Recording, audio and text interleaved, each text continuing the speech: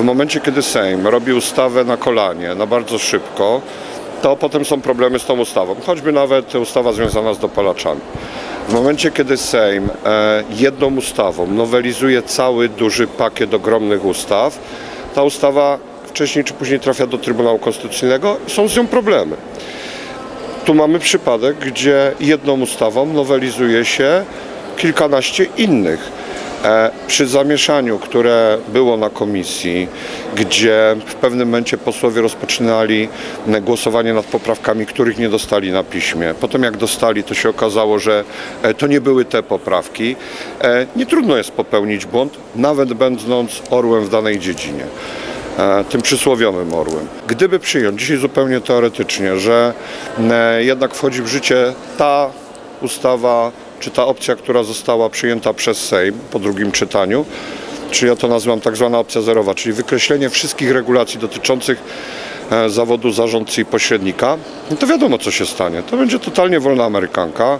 E, Czynnościami pośrednictwa będą mogły się zajmować osoby, czy zarządzania osoby, które absolutnie nie posiadają wiedzy, które nie posiadają wykształcenia, ba, były karane e, tak zwani oszuści, czy, czy, czy jak, ich, jak ich tam nie nazwać.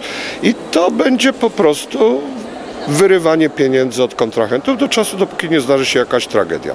Mnie w całej deregulacji dziwi tak naprawdę bardzo poważnie kilka rzeczy. Jedną z nich to jest to, że zawód rzeczoznawcy nie został a, w zasadzie zbyt mocno ruszony.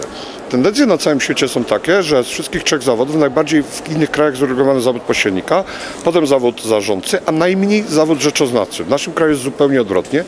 Natomiast tłumaczenie było takie, że przecież oni wyceniają mienie Skarbu Państwa. No to skoro ten argument zadziałał, to ja zadaję pytanie, dlaczego nie zadziałał argument, że zarządcy zarządzają mieniem Skarbu Państwa. Ja nie muszę przypominać e, tragedii hali wystawowej w Katowicach, gdzie zginęło ileś osób.